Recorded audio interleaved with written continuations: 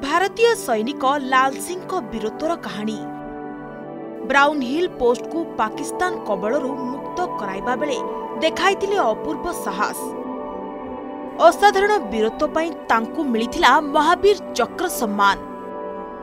ଉଣେଇଶହ ସତଚାଳିଶ ମସିହା ଅକ୍ଟୋବର ବାଇଶ ତାରିଖ ଦିନ ପାକିସ୍ତାନୀ ସେନା କାଶ୍ମୀର ଉପରେ ଆକ୍ରମଣ କରିଦେଇଥିଲା।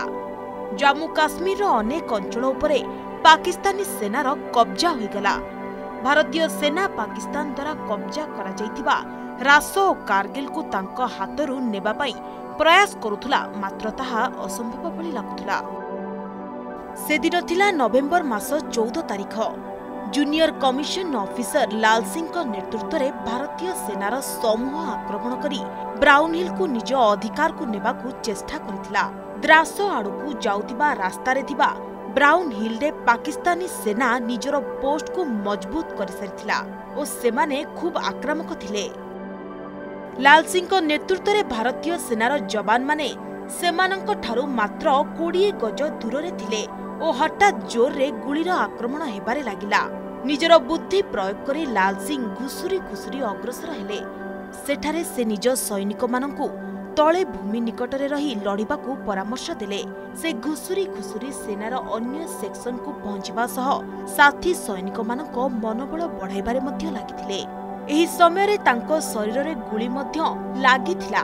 ହେଲେ ସେ ଏହାକୁ ଭ୍ରୁକ୍ଷେପ କରିନଥିଲେ। ଫାୟାରିଂ ମଧ୍ୟରେ ଫସିଯାଇଥିବା ଲାଲ ସିଂଙ୍କ ୱାୟାରଲେସ୍ ସେଟ୍ ଭାଙ୍ଗି ଯାଇଥିଲା ତେଣୁ ତାଙ୍କ କମ୍ପାନୀର ହେଡକ୍ୱାର୍ଟର ସହ ସମ୍ପର୍କ ଛିନ୍ନ ହୋଇଯାଇଥିଲା। ତାଙ୍କ ଶରୀରରୁ ରକ୍ତ ମଧ୍ୟ ବହି ଚାଲିଥିଲା। ହେଲେ ସେ ଧୈର୍ଯ୍ୟ ଓ ସାହସର ସହ ଲଢ଼େଇ ଜାରି ରଖିଥିଲେ। ଲାଲ ସିଂଙ୍କ ନେତୃତ୍ୱରେ ତାଙ୍କର ଯବାନମାନେ ଶତ୍ରୁର ଗୁଳି ଆକ୍ରମଣର ସାମ୍ନା କରିଥିଲେ ଓ ଭାରତୀୟ ସେନାର ଦୁଇଟି ନୂଆ ପ୍ଲାଟୁନ୍ ସେଠାରେ ନ ପହଞ୍ଚିବା ଯାଏଁ ଯୁଦ୍ଧ ଜାରି ରଖିଥିଲେ।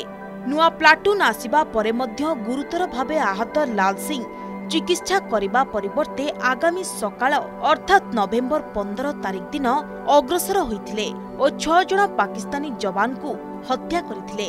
ନିଜର ଅଫିସରଙ୍କ ସାହସିକତା ଓ ବୀରତ୍ୱ ଦେଖି ତାଙ୍କର ସୈନିକମାନଙ୍କ ମଧ୍ୟରେ ମଧ୍ୟ ନୂଆ ଉତ୍ସାହ ଦେଖାଦେଇଥିଲା। ସେମାନେ ଖୁବ୍ ଶୀଘ୍ର ସେହି ଅଞ୍ଚଳରୁ ପାକିସ୍ତାନୀ ସେନାକୁ ଛତ୍ରଭଙ୍ଗ ଦେବାକୁ ବାଧ୍ୟ କରାଇ ଦେଇଥିଲେ। ଏହିପରି ଏକ ଅତ୍ୟନ୍ତ କଠିନ ମିଶନରେ ସେମାନଙ୍କୁ ସଫଳତା ମିଳିଥିଲା ଓ ବ୍ରାଉନ୍ ହିଲ୍ ପୋଷ୍ଟ ଭାରତର ଅଧିକାରରେ ଆସିଗଲା। ଜୁନିୟର କମିଶନ ଅଫିସର ଲାଲ ସିଂଙ୍କୁ ଏହି ବିଶିଷ୍ଟ ଶୌର୍ଯ୍ୟ ପ୍ରଦର୍ଶନ ପାଇଁ ମହାବୀର ଚକ୍ର ସମ୍ମାନରେ ସମ୍ମାନିତ କରାଯାଇଥିଲା। Bureau report Argus News.